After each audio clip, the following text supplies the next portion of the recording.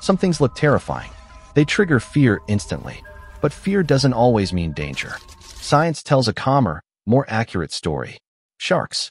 Sharks are often seen as mindless killers. But statistically, shark attacks are extremely rare. Most sharks mistake humans for prey, then swim away. Cars, lightning, and even cows kill more people every year than sharks. Spiders. Spiders trigger fear in many people. Yet the vast majority are harmless to humans. Most spider bites don't even break the skin, and fatal encounters are exceptionally rare. Snakes. Snakes are defensive, not aggressive. They bite mainly when stepped on or threatened.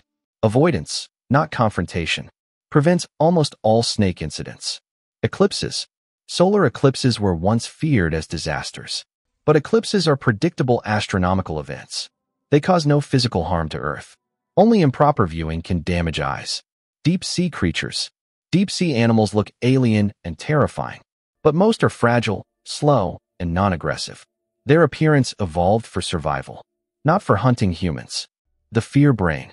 Your brain evolved to overestimate danger. Fear kept early humans alive. But today, that instinct often misfires. What looks dangerous is often just unfamiliar. Fear isn't proof of danger. Sometimes, it's just lack of understanding, and science replaces fear with clarity.